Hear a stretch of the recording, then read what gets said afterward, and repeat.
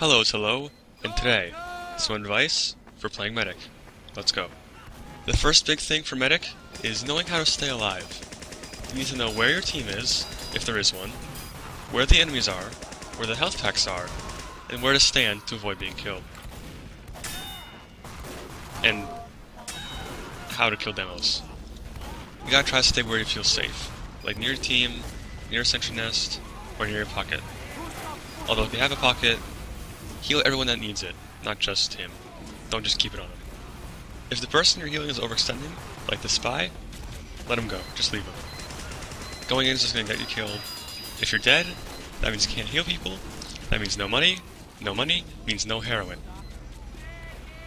Another tip is heal everyone. Including the spies, the snipers, the scouts, the engineers. It's not healing is not just for the heavy classes. Well, if they come to you. If someone's way across the map and needs help, you going to them is just gonna get you pyroed. It, it just always seems to happen. Also, don't underestimate your actual weapons. People in this game tend to underestimate the weapons that aren't the class's main role. Like the SMG, the pistol, the shotgun, the revolvers, and the syringe gun. These are all really good weapons. Although not super powerful, they can save your butt in a tough situation. Also consider which medigun to use. The stock one is the best general purpose. Full overheal capabilities and the complete invincibility with Uber is the best for attacking and pushing in. The Kritzkrieg is similar, but it's better for defense, as you don't have to deal with sentries as often, which don't take crits. Remember, Kritzkrieg Uber does nothing for yourself, so you still need to be careful and ready to retreat if you bite off more than you can chew. Like that. The quick fix is better for just keeping everyone on your team alive.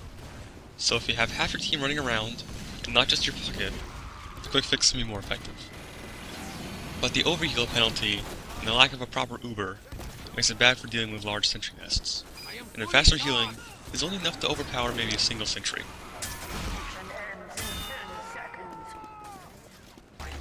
The Vaccinator is best for keeping a single target alive, as you can use parts of the Uber separately. Also, because they're immune to crits from the type you're healing them with, it can easily counter Kritzkriegs, snipers, and puff and sting pyros. But because of the slower overheal, and the very situational Uber charge, it's pretty bad for general purpose healing and pushing. Now at this point I realized I had no one to heal, so I might as well just go in. I got nothing to lose. The enemy has dropped our